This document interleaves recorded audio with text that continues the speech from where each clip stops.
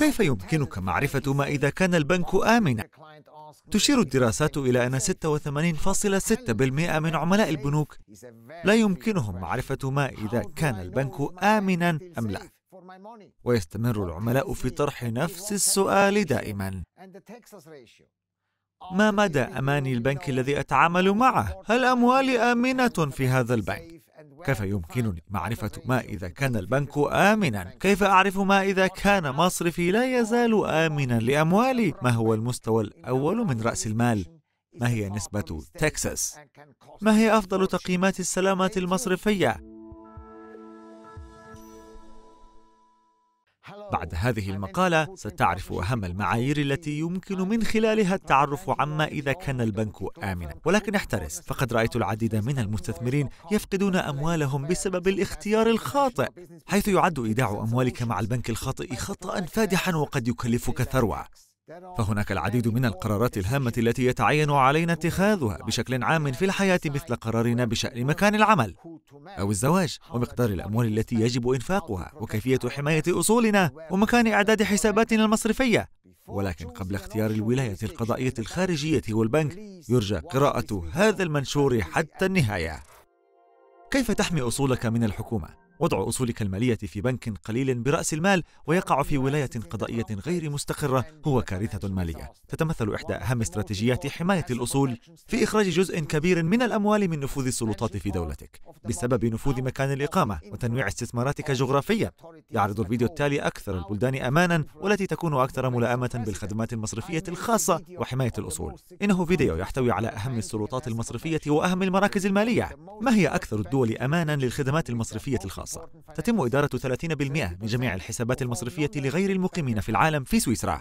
فلا يوجد شك أن سويسرا هي الولاية القضائية الأكثر موثوقية والأفضل للخدمات المصرفية الخاصة وحماية الأصول. الرسم البياني التالي يوضح أهم المراكز المالية الخارجية. كيف تتجنب التعرض لإجراءات الكفالة والإنقاذ بالبنك؟ إذا فتحت حساباتك لدى أحد البنوك في الاتحاد الأوروبي منذ عام 2017 فسيخضع حسابك لتشريعات الكفالة. في حالة حدوث أزمة مالية يمكن للحكومة أن تأخذ أموالك وتعطيك حصصا في بنكك ذي رأس المال. وقد حدث تحول في أموال العميل إلى أسهم البنك الضعيفة في قبرص قبل بضع سنوات.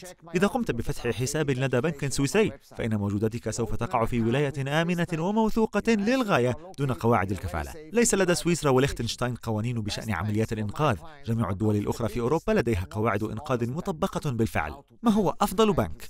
أفضل البنوك لعملائي ليست هي أكبر البنوك وليس أصغرها. ولكن كيف يمكنك معرفة ما إذا كان البنك آمنا أم لا؟ دعنا نوضح لك أنا أقدم عملائي للبنوك السويسرية والتي تكون. لا تتعرض لتداول المشتقات. لا تتعرض للأنشطة المصرفية الاستثمارية المتعثرة. لا تتعرض لأنشطة الإقراض المحفوفة بالمخاطر. إذا كنت ترغب في قياس المخاطر المرتبطة بأنشطة الإقراض المحفوفة بالمخاطر يمكنك قياس التعرض مع نسبة التكساس والتي تمثل مقياسا للمشاكل الائتمانية للبنك. على أي حال كل البنوك السويسرية التي أعرضها لعملائي لديها مستوى أول من رأس المال من الفئة الأولى لا تقل عن 20% أو أكثر. لسوء الحظ لا يمكنني ذكر أسماء البنوك فالبنوك السويسرية لا ترغب في ذكرها. إنهم حساسون جدا مع وسائل الإعلام الاجتماعية وقد واجهت بالفعل مشاكل مع بنك قوي للغاية فقد ظهر شعار البنك بطريق الخطأ على صورة الخلفية في أحد مقاطع الفيديو الخاصة بي. لقد أرسل لي البنك رسالة غير سارة من 30 صفحة ولكنني أصبحت حذرا للغاية الآن. وقد أرسل لي البنك رسالة غير سارة من 30 صفحة ولكنني أصبحت حذرا للغاية الآن. وسوف أفصح عن أسماء أفضل البنوك في اجتماعي معك وجها لوجه في مكتبي. سوف نجد أفضل بنك مصمم خصيصا لموقفك المحدد. الاختيار الصحيح سيغطي احتياجاتك وتوقعاتك. قد لا يكون البنك الذي يناسبك هو الخيار الأفضل لشخص آخر. يمكن أن يعتمد الاختيار الصحيح للبنك السويسري على العديد من العوامل وعلى الموقف الخاص بالعميل.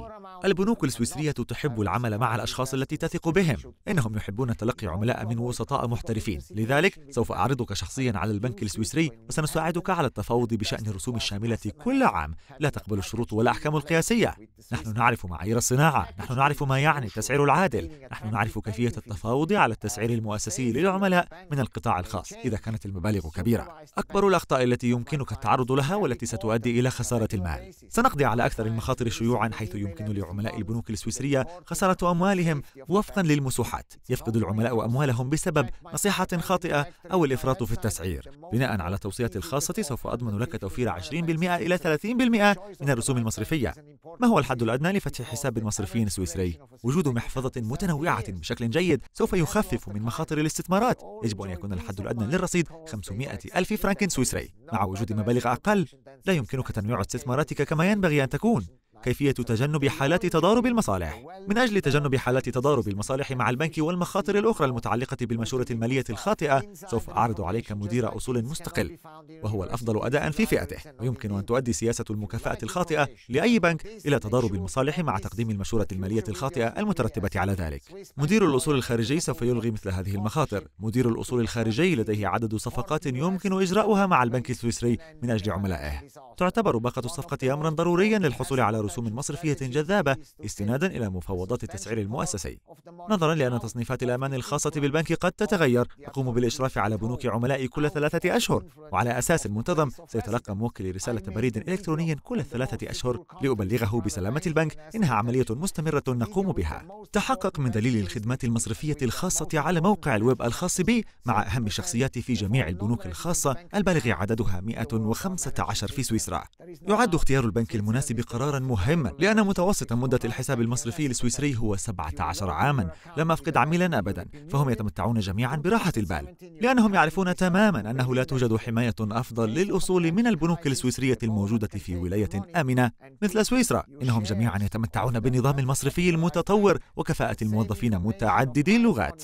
هذه المعلومات التي أوضحها غير متاحة في الجامعات ولا في المكتبات ولا على الإنترنت. إذا كنت ترغب في الحصول على معلومات مثل هذه فيرجى تسجيل الإعجاب والاشتراك في قناتي على يوتيوب الآن كما أتمنى منك الضغط على زر الاشتراك وتفعيل زر الجرس من خلال القيام بذلك لن يفوتك مقطع فيديو جديد أبدا إذا كان لديك سؤال خاص وسري للغاية فعليك مناقشته معي على هاتفك المحمول الآن فقط اتصل على 0041 44 212 4404 أو أرسل لي رسالة بريد إلكتروني على contact at swiss-banking-lawyers.com ليس من المبكر أبدا تنويع أصولك ونقل جزء كبير منها إلى سويسرا لحماية أصولك وثرواتك حيث يجب تنفيذ تدابير حماية الأصول قبل حدوث أي شيء سيء لتقليل المخاطر السياسية والمالية.